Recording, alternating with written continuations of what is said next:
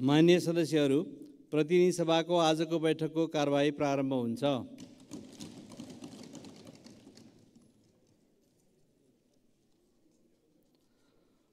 र मान्य सदस्य श्री ज्वालाकुमारी शाह के राखौँ? र बाँकी मान्य सदस्य उहाँहरूको कुरा सुन्नलाई आसन ग्रहण गरौँ। सम्मानीय सभामुख महोदय भ्रष्टाचार मुक्त समाज निर्माण मान्य सदस्यहरू नियमको पालन गरौँ। मैले समय प्रतिपक्ष दलको तर्फबाट ज्वालाकुमारी बोल्न शाहलाई समय दिएको छु। उहाँले बोलिसकेपछि उहाँले बोलिसकेपछि यहाँको कुरा के हो त्यो म आधारित सुनाउने छु सुशासन कायम मान्य सदस्यहरू आलो पालो मैले नियन्त्रण गरेको अहम भूमिका मेरो रहेको आधारबाट छ। यो सभा सञ्चालन गर्नुपर्नेछ। म जानकारी गराउन चाहन्छु सभामुख महोदय। र म यो भन्न चाहन्छु मान्य सदस्यहरू, महोदय मार्फत बोल्न दिउँ, आज बोलेको कुराहरू सुनौँ। मैले बन्दी के अरे बनाउन ज्वालाकुमारी खोजिएको छ। शाहलाई बोल्न दिएको छु।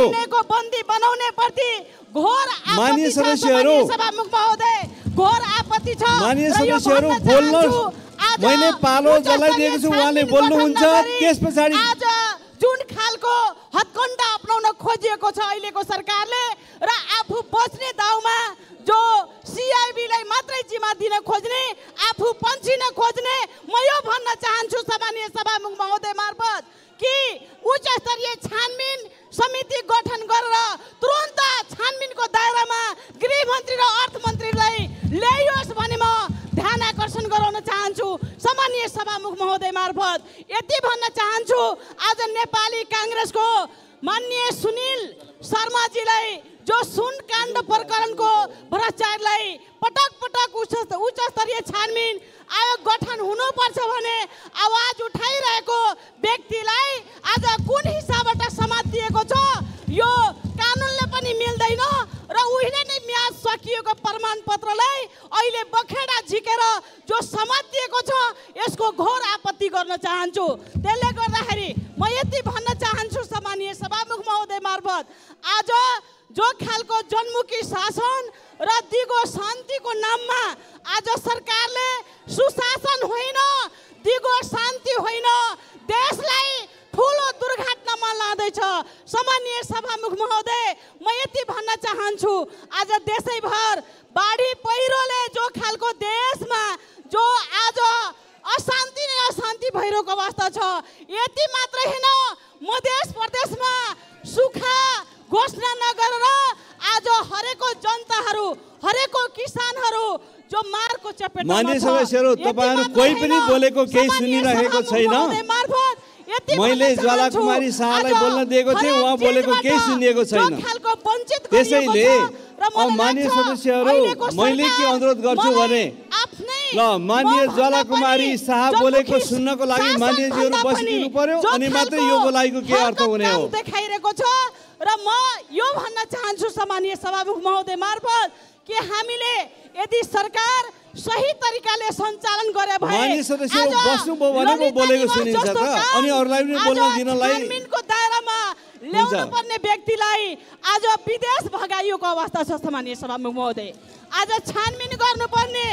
आज यति मात्र होइन हाम्रो हाम्रो एमाले पार्टीको पराष्ट्र मन्त्री बिमला पौडेलजी हुँदाखेरि राम्रो कामको लागि एउटा विदेशमा आमन्त्रण गरिएको थियो तर उहाँलाई इगो साटेर जो इगो साधेर बिमला पौडेलजीलाई एयरपोर्टबाट फर्काउने काम गर्यो तर आज माधव नेपालजीलाई नरोकेर गलत काममा जो छुट दिने काम गरेको छ म यो भन्न चाहन्छु कि हामी लिम्पुवाधुरा कालापानी लिपुले मान्य सदस्य बोल्नु भएको केही बुझिएको छैन। के भन्नु भएको छ के गर्नु भएको छ भन्ने कुरै बुझिएको छैन। म भन्न चाहन्छु सामान्य सभामुख महोदय। ल, मान्य सदस्य- स्किलले पनि हजारौँ गाई ज्वालाकुमारी शाह भैँसी बस्नुहोस्। तपाईँको कुराहरू सुन्न सकिएन। अहिले बस्नुहोस्।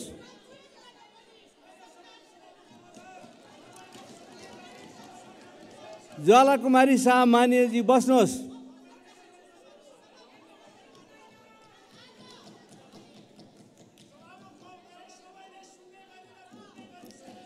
मान्यज्यूहरू हल्ला गरेपछि त कसैले पनि सुनिने भएन नि।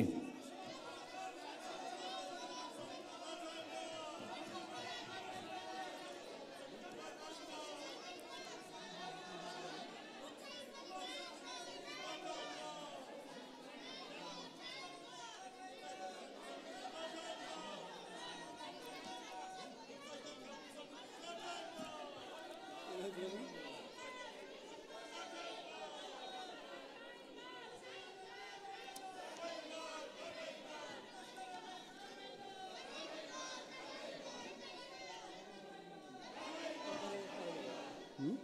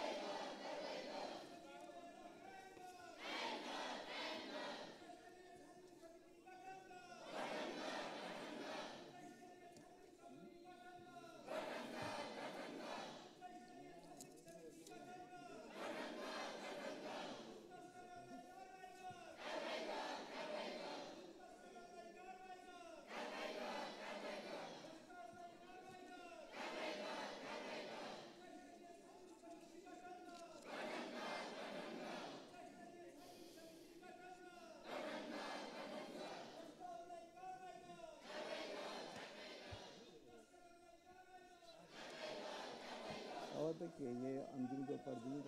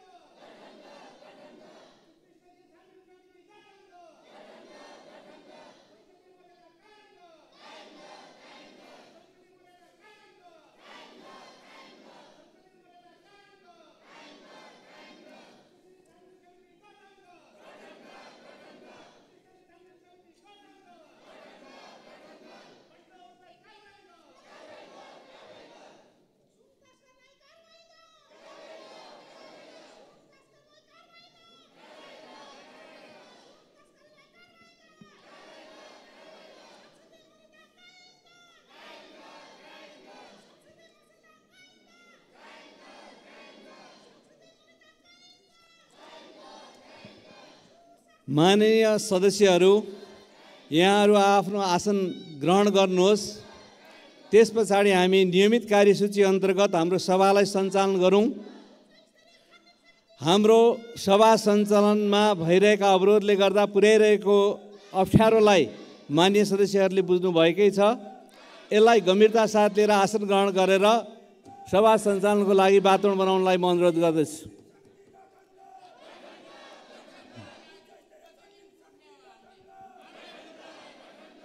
मान्य सदस्यहरू आसन ग्रहण गरौँ र हाम्रो बैठकको नियमित कार्यसूची अन्तर्गत बैठक सञ्चालन गर्नलाई सहयोग गरौँ।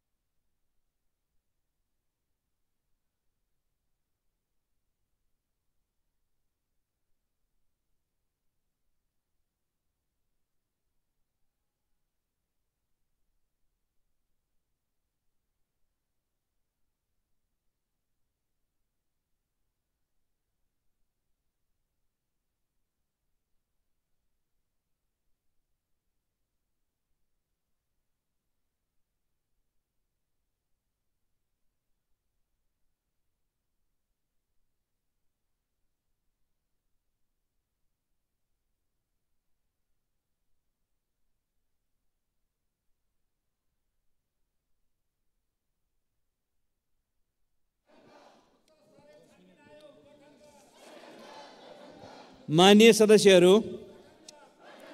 आजको बैठकको लागि निर्धारित कार्यसूचीका सम्पूर्ण कार्यक्रम सूचीबाट हटाइएको बेहोरा म जानकारी गराउँछु।